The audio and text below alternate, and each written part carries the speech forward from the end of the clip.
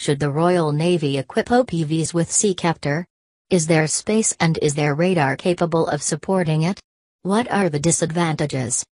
1. Steve Jones answers. The River Batch 1's Tyne, Severn and Mersey don't have the scanter radar fit of the Clyde and the Batch 2s. According to MBDAC Sea Ceptor can take sufficient data off a 2D air search set so Scanter should be sufficient to provide target indication within the limitations of the set. That said there is absolutely no way whatsoever that an OPV should have the money spent on it to add a SAM.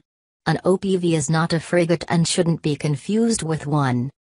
I've no objection to a dual role main gun mount like one of the smart 40mm that are becoming more prevalent. I've been of the view for a while that rolling Citizen ASCG into a single mount, like a MK4 40mm, would be a good idea and that this kind of mount would be a far more suitable main gun for the OPV-MCMW fleet than the current ASCG.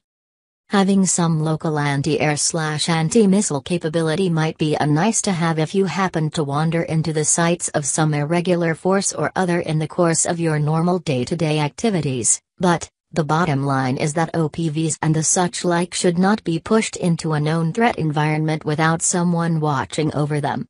They just aren't designed to cope with combat damage and they don't have, generally, the warfare skills in the crew to go blasting away at air tracks with SAMs.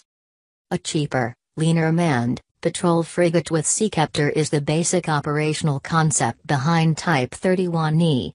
Any money that might go towards missiles on OPVs I'd suggest would be better pointed in that direction. 2. Ace Smith, answers. The Type 26 will have Sea Ceptor silos on the bow and at the funnel will provide the Royal Navy's Type 26 global combat ships with the head of the Type 26 program at defense equipment and support, though without proper funding the vessels will not be fitted out to their OPV manufacturing quality.